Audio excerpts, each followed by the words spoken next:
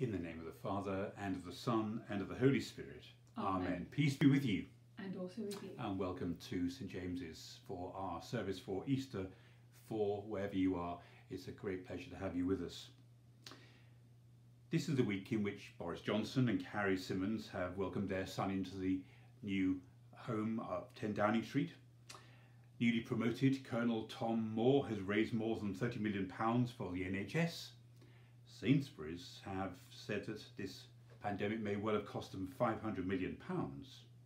President Trump is investigating whether the Chinese state is responsible for COVID 19, and sadly, the list of those who have died gets longer and longer.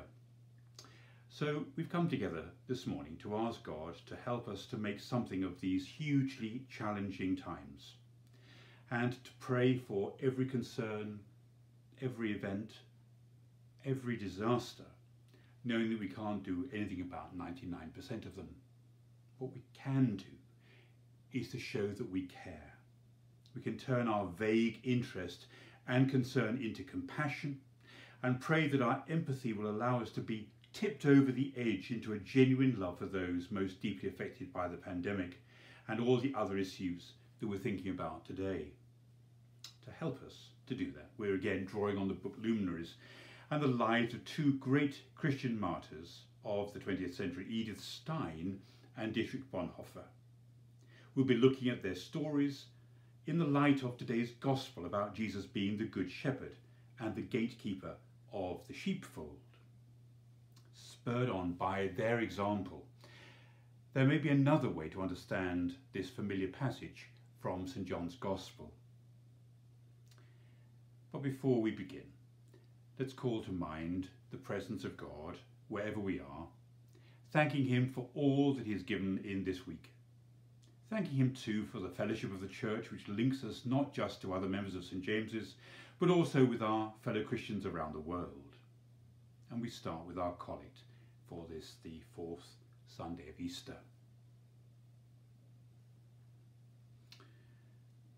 We pray together, God of the prophets, you fulfilled your promise that your Son would suffer and then rise again.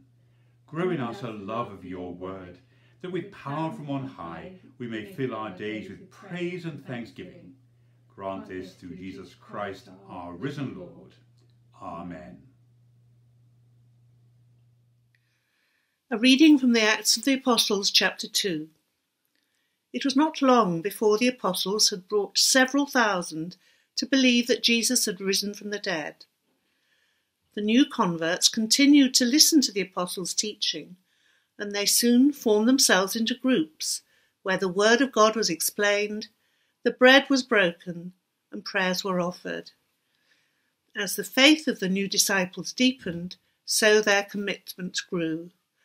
Many signs and wonders continued to be seen as the apostles continued their ministry. A sense of fellowship developed among the new believers. They held their property and their goods in common and sold what was not needed so that they could support those in need. After prayer in the temple, they broke bread in their homes, praising God for all that He had done for them, eating together with glad and generous hearts. They were warmly accepted in their communities, and day by day the Lord added to those who were being saved. This is the word of the Lord. Thanks be to God. My Lord is my shepherd, and he will blaze a trail for me, for he knows and understands my needs. He will take me where the grass grows lush and green, and in the sparkling water he will wash my wounds, and with him beside me my soul shall sing. He will lead me onward, sustaining me when my courage fails, and he will hold me safe when my footsteps falter. And with him beside me, my soul shall sing. Even when the storm clouds gather and life looks grim, when the dark winds blow and I can no longer find my way, he will hold the light steady before me. With the strength of his hand, he will protect me from all harm, and with him beside me, my soul shall sing. How blessed am I that the Lord has called me. Alleluia, Alleluia. I am the good shepherd, says the Lord. I know my sheep, and my own know me. Alleluia. A reading from the Gospel according to St. John, chapter 10, beginning, at verse 1. Among his many miracles, Jesus had healed a man who had been born blind. Although he was delighted to be able to see again, the event had just got the man into serious trouble with the Pharisees, who could not believe that Jesus was capable of restoring the man's sight. The man had put up such a stout defence of Jesus, however, that after being cross questioned, he had been thrown out of the synagogue for defying those in charge. When he heard about this, Jesus said, Do not be surprised by this. I have come into the world to act as a judge, so that the blind will be able to see. But those who can see will become blind. He then went on Imagine a field where all the sheep are gathered safely into a sheep pen. To protect the sheep, there is only one way in and one way out, and the door is protected by the watchman. The sheep are safe because they know the voice of their shepherd. They listen for his voice, and when he calls them by name, they confidently leave the sheepfold and go wherever, wherever he leads them. If anyone else tries to enter the sheepfold, they will have to find another way in, because they are just robbers and thieves whose intent is to kill and harry the sheep. The sheep will not recognize their voice and will try to run away. Many who were listening did not understand what Jesus meant, so he said, I am the door of the sheepfold. Those who came before me were the thieves and robbers, and the sheep did not listen to them. I am the gate, and whoever comes to me will safely go in and out of the sheepfold. But be aware of the thieves, whose only interest is to steal and destroy. I have come into the world so that you may have life, and have it to the full. In the name of the Father, and of the Son, and of the Holy Spirit. Amen. Tell me, how are you feeling? How are you really feeling? As a young priest, I was often put into my place by people who were older or wiser than I was. I might be wearing a dog collar, but I had a lot to learn, and on one occasion I made the mistake of saying to someone, I know how you're feeling. Without missing a beat, she turned on me. Don't be stupid, she said.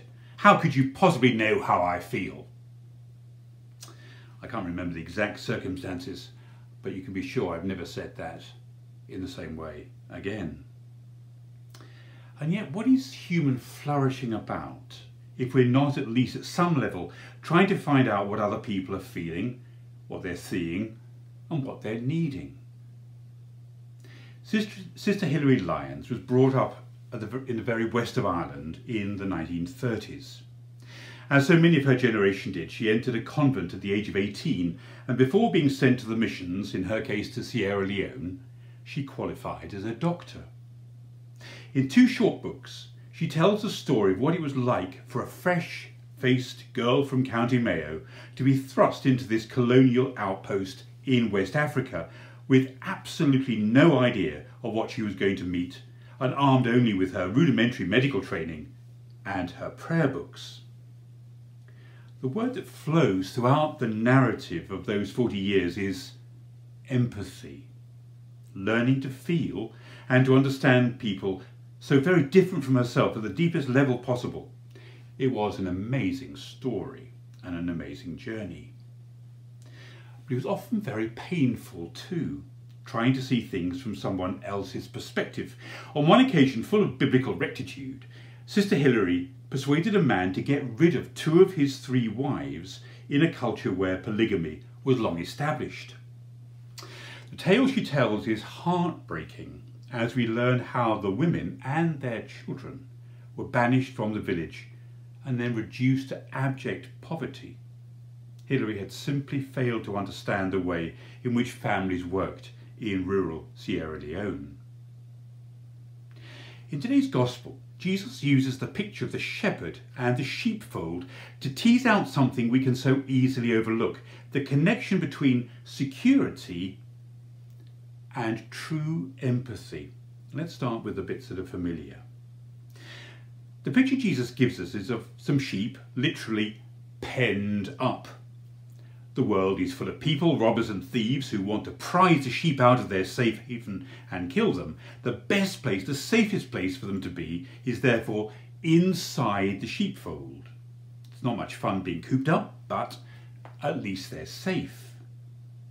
But as we all know too well, in this period of isolation, they aren't free.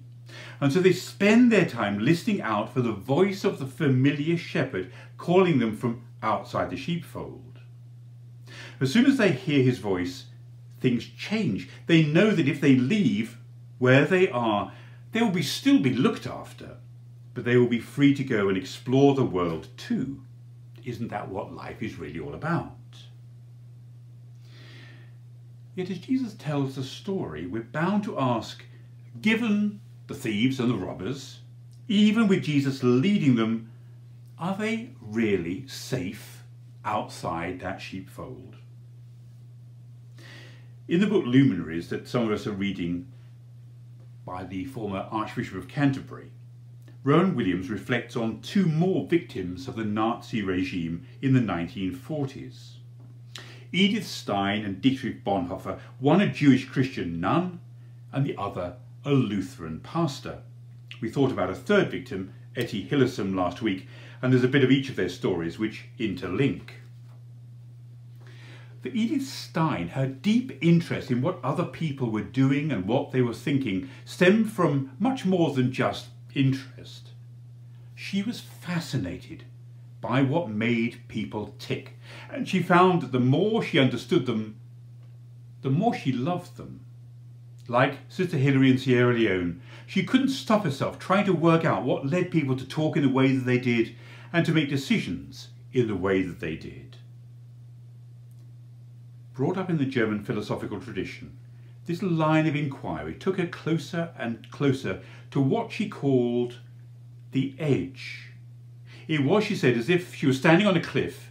If she went any further in understanding people, she would literally fall over. And then what would she find? What was there over the edge? To Edith Stein, over that edge was the place where we find God. Only when we've put our own interest to one side, abandoned our control of the situation, and discovered how to fully love other people, will we discover the overwhelming presence of God. Stein believed that it was only when we were in complete empathy with the needs and desires of others, being in one heart and mind, as the early Christians described it in our first reading from Acts, that the face of God will be revealed and the voice of the Good Shepherd be heard. She wrote, There is a universal need for sympathy and help beyond the narrow circle of friends and family, rooted in the divine love for all who suffer and are overburdened. But first, one had to take the risk of leaving behind the security of the sheepfold. The sheepfold, far from being a haven we might all long for, represented a false retreat, a place of selfishness and immaturity.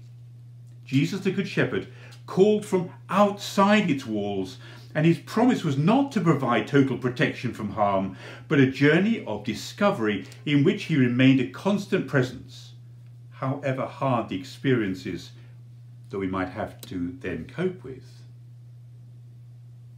And it was this conviction that led Edith Stein to her greatest test.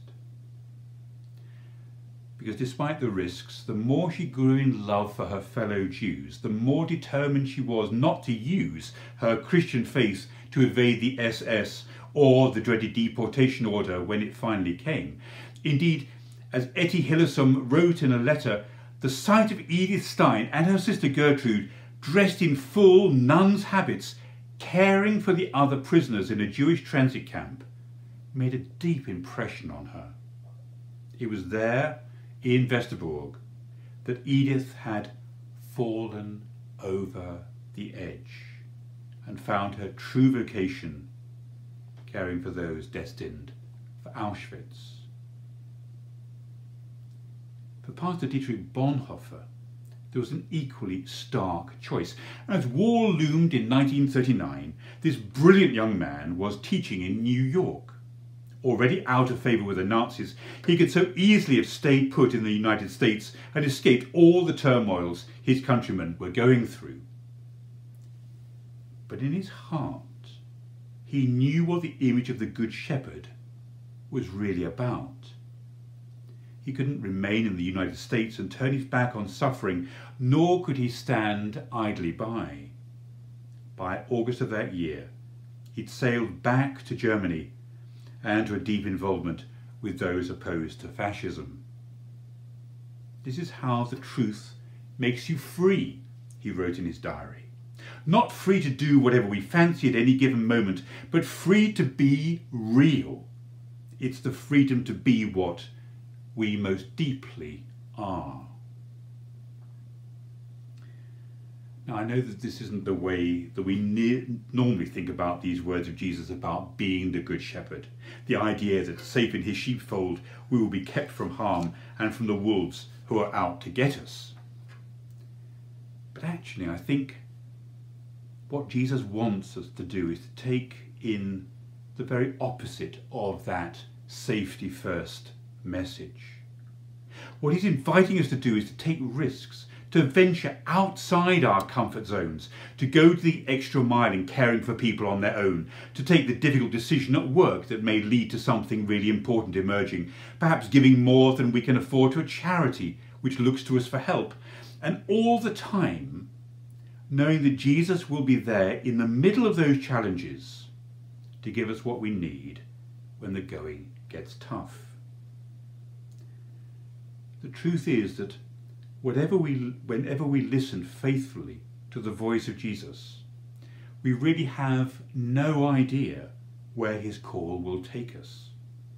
Once we've left the security of the sheepfold and what we find familiar, Mayo for Hilary Lyons, the convent life for Edith Stein, or New York for Dietrich Bonhoeffer, we find ourselves being led closer and closer to the edge where our empathy and love for other people reveals the face and the love of God, but often through experiences that we would prefer to avoid. Here in the lives of these three extraordinary people, it was their willingness to go wherever Jesus led which gave true meaning to their lives and turned their curiosity into compassion and their compassion into love, the place where they could find the truth of God for themselves. And Jesus' offer, of course, remains the same. Whether it's the early disciples in the book of Acts, those 20th century men and women of faith, or to us, he remains the truly empathetic Good Shepherd who leads us out into pastures new. For as he said, I've come into the world so that you may have life and have it to the full. Or as the psalm says, and with him beside me, my soul shall sing. And so let me remind you of our collect. God of the prophets, you fulfilled your promise that your Son would suffer and then rise again. Grow in us a love for your word, that with power from on high we may fill our days with praise and thanksgiving. Grant this through Jesus Christ, our risen Lord. Amen. And now we're going to do something slightly different we haven't done before. We're going to invite Adam to play a piece of Bach for us, the Saraband from the Partita number one in B flat. As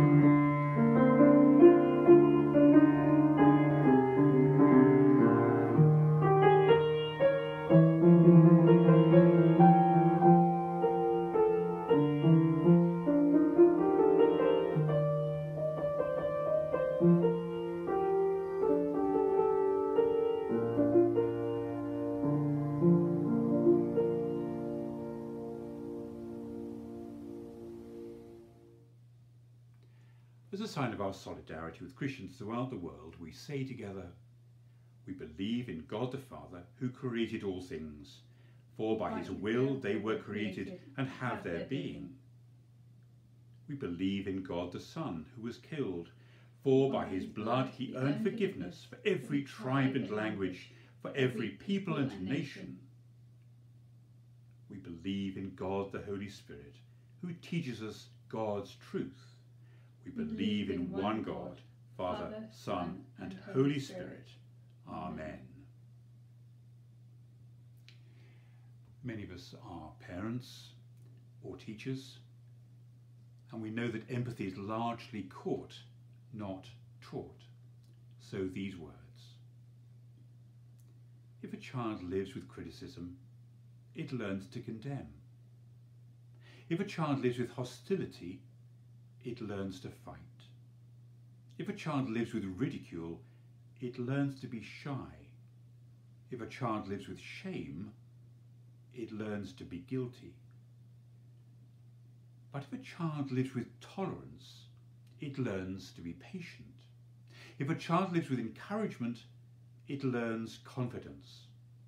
If a child lives with praise, it learns to appreciate. If a child lives with fairness, it learns justice. If a child lives with security, it learns to have faith.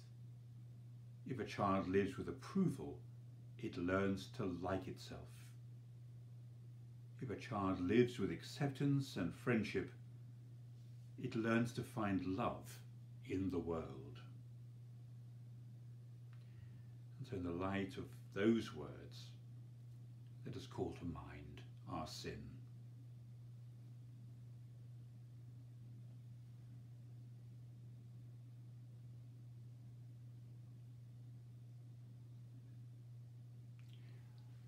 Lord Jesus, forgive us that our need for security blinds us to the plight of so many in our community. Forgive us for shutting our ears and our eyes to the needs of those who do not enjoy what we so easily take for granted. Forgive us for our complacency and our lack of love.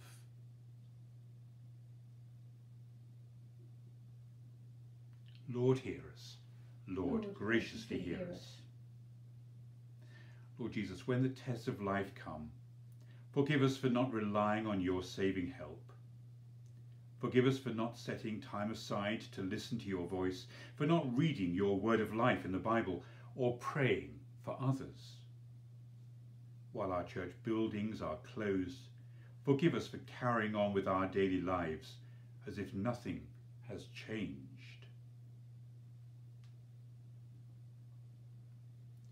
Lord, hear us. Lord, graciously hear us.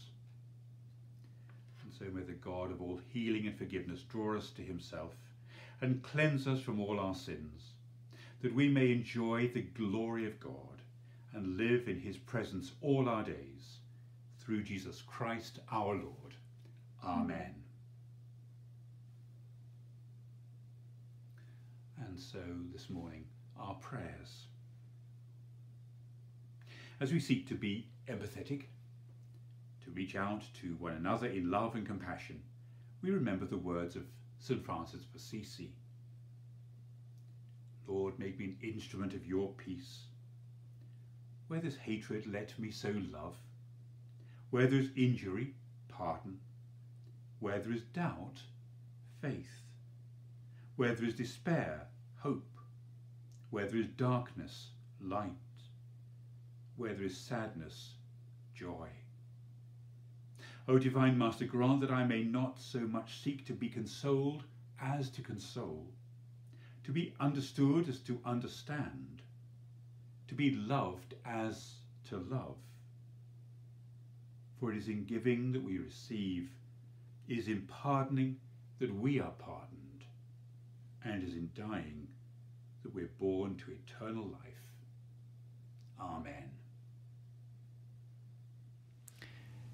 Heavenly Father, in this pandemic, we pray for all those who are most vulnerable in our society, for the residents and staff in our care homes and geriatric wards for district nurses and for paramedics working in the community. We pray for all those who are worried about the lack of breathing support and for those ensuring that frontline professionals are properly supplied with PPE. Lord, in your mercy, hear our prayer.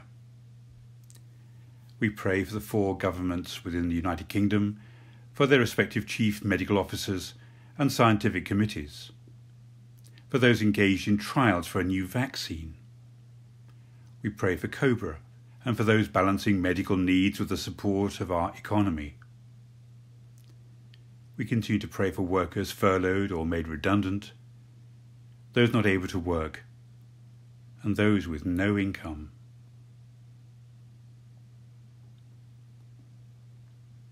Lord, in your mercy, hear our prayer. We give thanks for all those volunteering to support the isolated and the poor. We pray for the success of the local food banks and for all those donating food and vital supplies.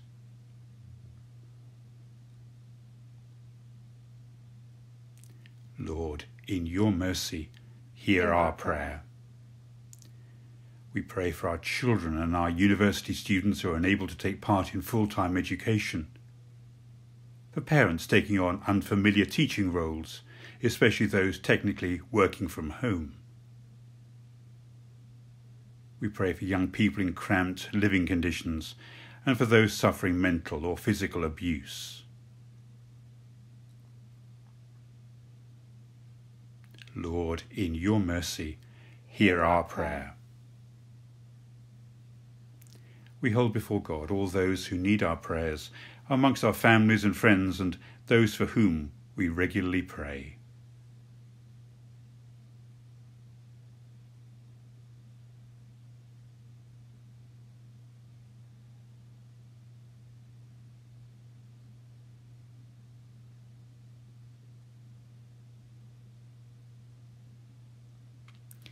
And we commend to God the souls of Robert Addington, Rose Baker, and Howard Allen, who have died recently, and for Kathleen Palmer, Doris Akehurst, Jean Vernier, and all whose anniversaries fall this week.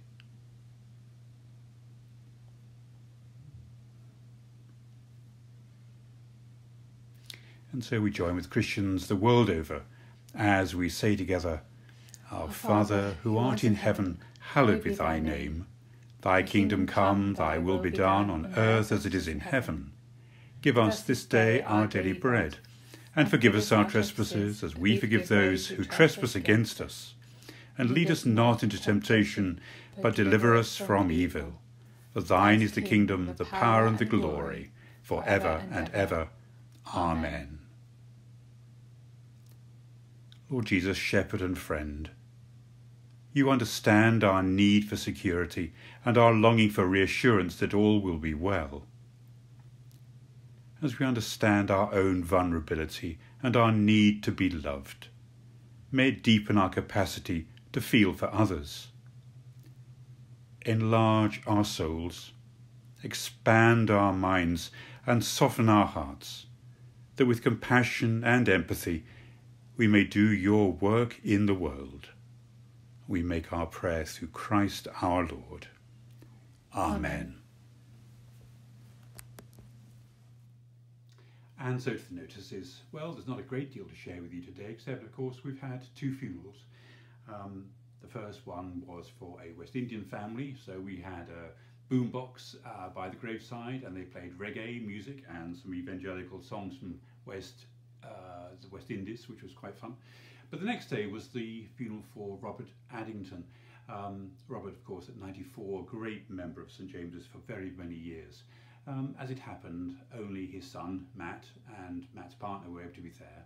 Um, but right at the end, on a mobile phone, they played the music from Purcell's uh, funeral for Queen Mary, and actually in that kind of parkland at Cockfosters.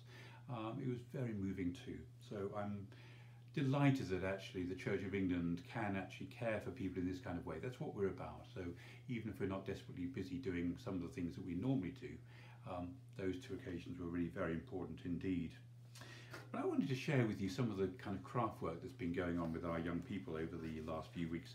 Um, this first one is actually meeting Jesus on the Emmaus Road, so that was two weeks ago, and uh, that was the card that they made, which is beautiful.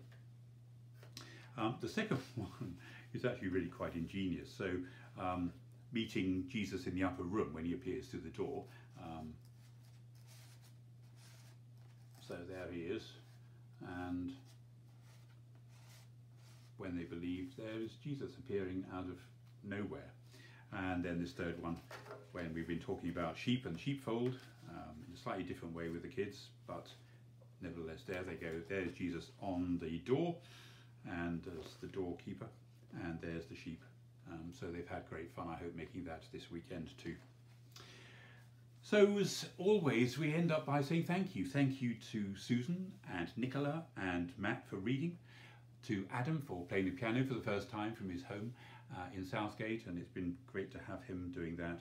And of course, always thank you to Sinead for doing all the technical stuff, which makes it possible for us to share this with you. So I hope you have a very good week. It's been, uh, as always, um, my pleasure to be able to share some of these ideas with you today. And if you've got any feedback, of course, I'm delighted to hear from you. But for now, let's ask God's blessing before we leave. Living God, grant us faith to follow where you might lead, courage to step out into the unknown, grace to walk with humility, and a commitment not to grow weary but to travel on until our work for you is done. And so may the blessing of God Almighty, the Father, the Son, and the Holy Spirit bless us and keep us now and forever. Amen.